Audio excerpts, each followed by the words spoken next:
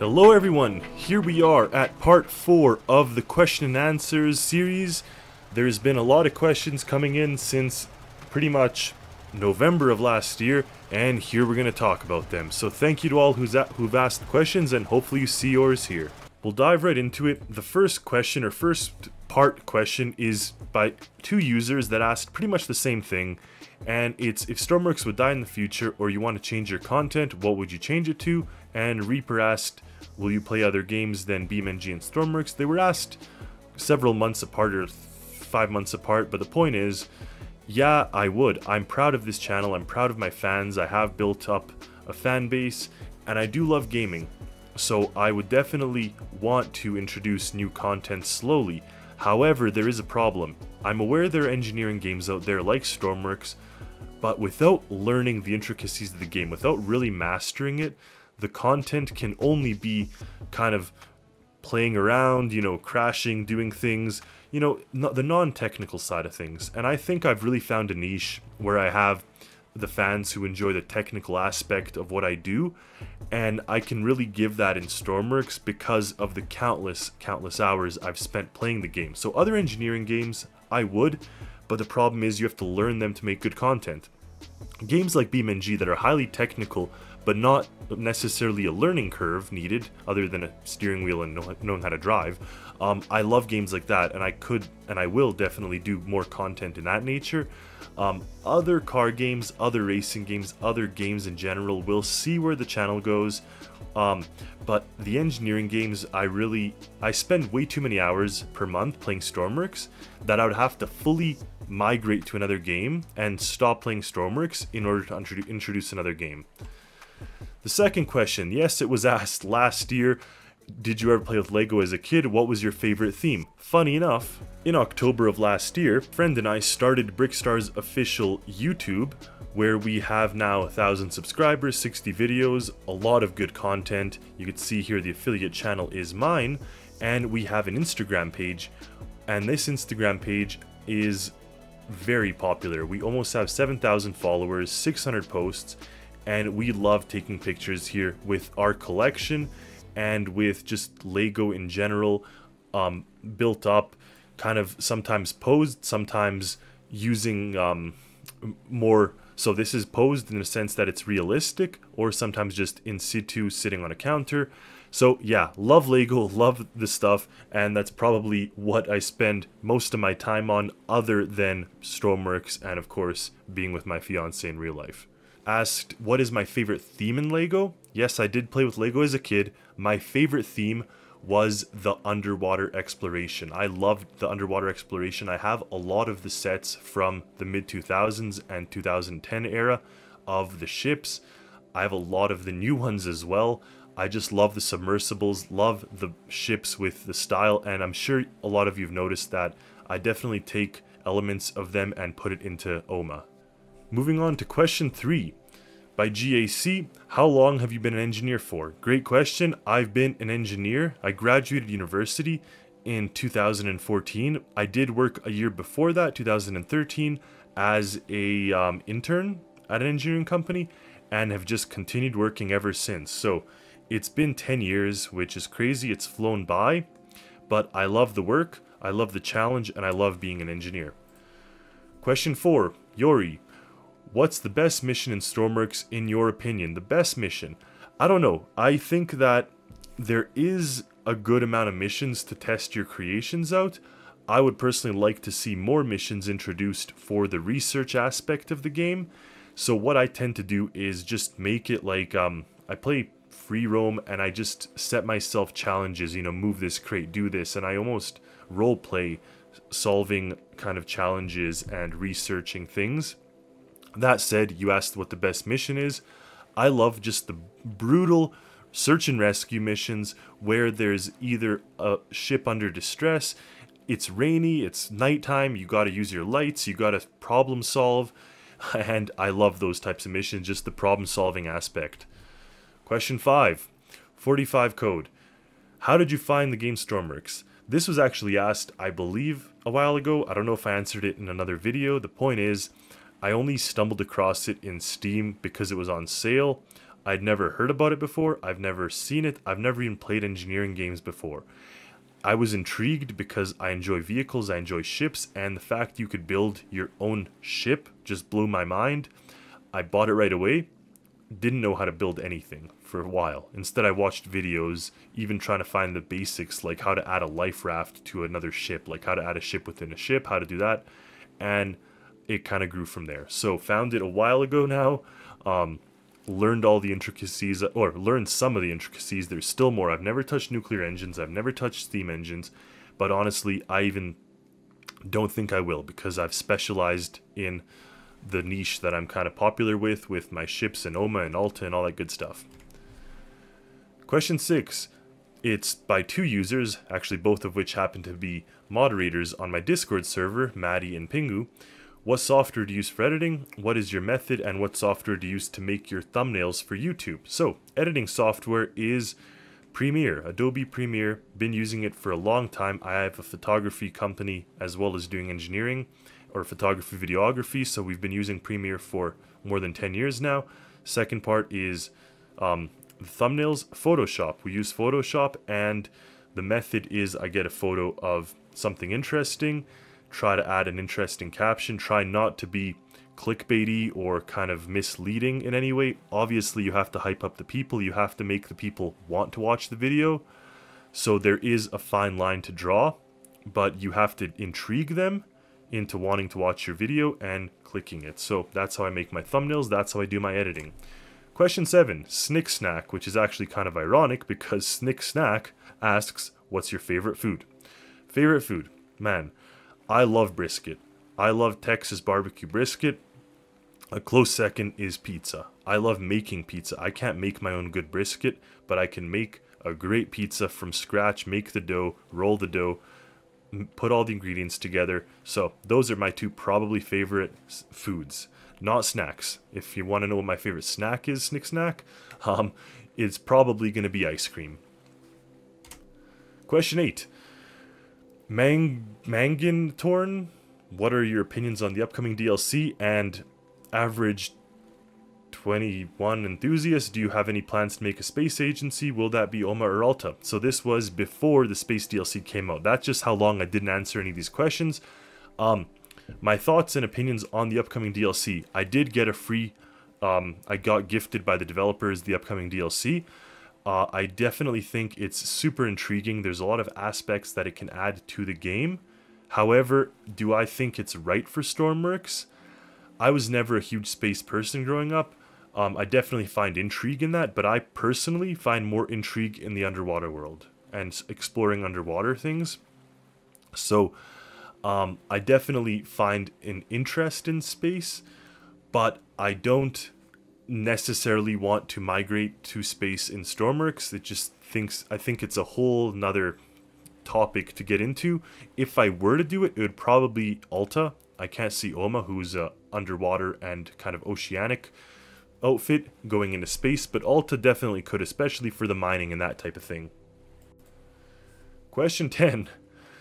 Big question. Apple or Android? It's important, apparently. Which Apple and Android devices, tablet and PC and Window PC are welcome to talk about? Well, personally, Windows computers all the way for my computer. I like to build my own computers. I've built my own computer and I just love the freedom and the customization. Windows 10 is probably what I've been using for so long now. I've just gotten so integrated into it, I can use it pretty much asleep. However, cell phone, I do prefer Apple only for the reason of I'm not a big cell phone person. I don't really use my cell phone for like streaming movies and downloading things and whatnot, which I know Android's good at. I know Android has a benefit for that nature, Apple is pretty limited in a sense that it's designed by Apple, who likes to just make very proprietary type software and type interfaces. So I don't like that necessarily, but for cell phones, which for me is more or less a device, I'm totally okay with. I use it for calling people and taking photos and texting and like that type of stuff. So not really huge cell phone person, but for PC, huge PC person, huge Windows person, and love to go into building all those things. Question 11. Programmer 137, what is your favorite buckle vehicle, both civilian and owned by other brands? This is a super tough question for me because I love all of my buckle vehicles that I've built, enough that I've built a whole showroom for them, but I gotta say, the Buckle Rodeo is just my classic attempt at a pickup truck from the basic, call it like 90s fun model to the dually version to all of the themed versions.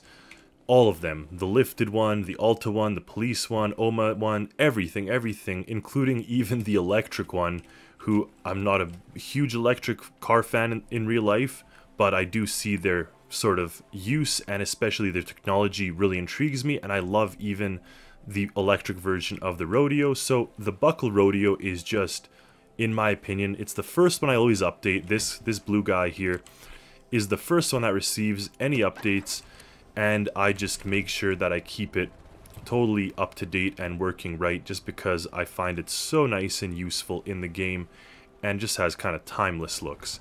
So didn't really answer the question in a sense of civilian versus company owned, but that is kind of like my, the civilian consumer version of a truck. My favorite version of a um, commercial vehicle, so call the first ones over there consumer, and then these here are commercial, would be the Convoy. The Buckle Convoy is really cool because it comes in so many possible configurations, including massive scale industrial um, uses. I love this eight-wheeled version, the long haul version, the regular version, and I even have a single, like double axle, very small version that I've not released yet, but even that one is really cool. So I just find such intrigue by these vehicles, and they're such work workhorses. They're so powerful, super cool. Love how the cab kind of flips open, and you could really get into the engine bay and whatnot. So love their use, love the varying size of engines in all these models because that's something where the Rodeo really is just the same engine. The different sizes of this truck actually have different engines, so I find that really cool. Question 12 by user Mark. Where do you shoot all your workshop screenshots? Well, I shoot them pretty much just anywhere on the map. Depending on the creation, I tend to kind of go where that creation would be expected that said, I do have a hangar for all my Alta vehicles. So if this looks familiar to you, this is where I take the photos of Alta with the truck right there. And then for the other vehicles, such as the um, Buckle vehicles, I actually use this little add-on that I've made. So over here, you can see the screenshots that I've taken for these two trucks on this kind of white screen. And then I use this dumbed down version of the dealership to take the cover photo right here. So that's kind of the behind the scenes of the, the vehicle photo shoots. And then for the OMA, I also just take the photo shoots at the marina. I spawn up the marina and load the vehicles there. Question 13, it's a two part question or two questions by Agitated Alice. Both are engineering questions. What kind of softwares do, engine, do software do engineers in your field use for calculations? Um, some scientific calculator is not what y'all use. Um, and then there's a second part which I'll read after. So first question is I use STAAD for designing of buildings. It designs members. You can do finite element analysis. Google that if you don't know. Um, I do Tekla for modeling the entire building and then getting shop drawings or construction drawings from it. So Tekla STAAD, But I've also used RSTAB. I've used RISA. I've used a bunch of other software, RAM, RAM structure, RAM connections, um, SAP 2000, to name a few. There's a lot of other software that I've used, but those are primarily the ones that I do. And then obviously Autodesk, AutoCAD, Revit, all that kind of stuff. Second question. Do you ever watch uh, some AARO program video footage with your engineering goggles on? The thermal signature are interesting to someone who has space aerospace um, interest. So I've not seen this. I'll definitely have to check it out. Uh, that sounds quite interesting, to be honest. Um, I do like engineering. I love engineering, in fact, obviously. But as far as aerospace and that type of stuff, that's far from my professional field. So professionally, I keep a good kind of lookout on what is happening. And then from a personal standpoint, I have an interest in this type of stuff, but I also have an interest in coding, programming, building computers, yard work, building things with wood, building things by hand, working on cars, a wide variety. I can be busy 24 hours a day with no sleep and I will be honestly good to go. So I have a ton of hobbies, ton of things to do. I've not seen this, but I'll have to check it out. Question 14, Pingu. The real question is here, do you prefer manual or automatic? And then I saw a bunch of people starting to comment talking about one or the other or both. I have both. I've had both my whole life meaning I've had more than two cars my whole life, which is pretty awesome. I did work for them. I worked summer jobs to to be able to afford them. Actually, no, I had one car in high school, and it was a manual. Then after I graduated, started working. Then I got a second car. It was a man. It was automatic. I love both. I see the appeal for both, but I love to be able to switch back and forth, which is why I've always had two cars. I just love to drive manual sometimes. I love to drive automatic sometimes so it is, in my opinion, both. For example, my sports car, manual hands down. I would not own an automatic sports car. But for my truck, I prefer it's automatic. It has really cushy seats, really comfy. You sit inside, you can go on road trips, you can drive 3,000 miles, and you won't be sitting in your seat bogged down. And manual cars kind of suck in traffic jams, especially if the tra- traffic jam is uphill. So if I go to the mountains, go for a drive, if I want to, that's where I love manual. Automatic has a time and place, and that is for driving cushy in these big trucks or cars and just being comfortable and kind of going for the long distance or commuting even. So, love both, have both. Question four, uh, 15 Alexandra, what's your favorite mode of transportation in Stormworks? Great question, actually. If you look through my ships, most of my ships, especially my bigger ones, tend to have a theme. What is that theme? Well, it's sitting on the roof in this case. In other cases, it sits on the front. In other cases, it sits on the rear deck. So, my favorite mode of transportation is not by helico helicopter or airplane or by air. It is the combination of having a ship as your home base, your mothership. You can sleep there, you can work there, you can live there, and then having the ability to take off and solve missions and kind of do things in an airplane or helicopter and then make it back to your home base and then off to the next one. So the combination of them is my favorite, and I tend to try to put a helicopter or airplane of some form on all of my ships, of course, when they can fit them. The one thing I've not really brushed on is by car, and the problem with car in Stormworks is a lot of the roads can cause damage to the cars very easily, so I tend to avoid long-term travel by car, but I still do enjoy cars in the game as I do in real life, and I love to build them to supplement my ship fleet. So if I have a fleet that needs servicing, parts, whatever, that's kind of when the cars really step up there. Question 16 are you planning on using XML modded parts? And everybody downvoted. There's four downvotes here. I did make a video specifically talking about XML modded parts. I have used XML modded parts in some of my creations where there's just absolutely no workaround. But as a whole, I tend to avoid them for creative need reasons. So I'll use them for practical reasons when there's no other choice, when the game is just limiting in a sense that the um, hydrodynamics or fluid dynamics are not proper and the ship's sinking, then I use the kind of leveling techniques and whatnot. But for a visual sense, I tend to prefer the built-in ones. So still a good question, and I probably won't be using XML modded parts because even without them, I have so much on my plate. Question 17. Who is your favorite workshop creator? And I love the fact that Pingu said me with the penguin. Truthfully, I cannot narrow it down to one. I'm sorry, I can't say who my favorite workshop builder is. I like my own creations, I use my own creations. But do I appreciate each and every one of these creations that hits the hits the workshop? I absolutely do. Do I tend to look all the time on the workshop to see kind of what's going on out there, what people are releasing? I absolutely do. So, without a doubt, all of the creations that I see are my favorite creations in a sense that I just think the creativity is absolutely mind boggling. Just seeing what people have put together, what they've built, really makes me happy, including seeing my own creations, of course, but just seeing stuff that people have put together, the technology that they've used, the style they've used, really does intrigue me.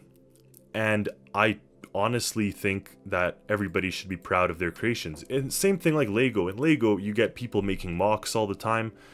There's just tons of different effort and different levels of skills, of course, but in the end, you get amazing creations. And that's what it's all about in the end. Question 18. If you could work with any of your Stormworks brands, which would it be? Reaper says for me it would be Oma. For me too, Reaper. It would be Oma. I do work in the oil industry. I work in the heavy industrial industry, kind of like Alta. Not on the field, not on site, but with that kind of world.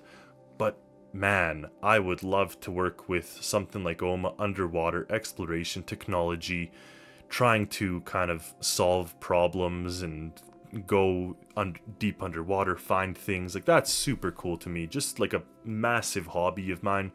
And I'd love to be developing technology for something like OMA. That would be my dream engineering job if it were to exist. Great question. Also, I do love the fact that they have hot tubs and kind of modern elements on their ships. Of course, it's a little bit of a unrealistic element, but it kind of does tie into where I'd want to work.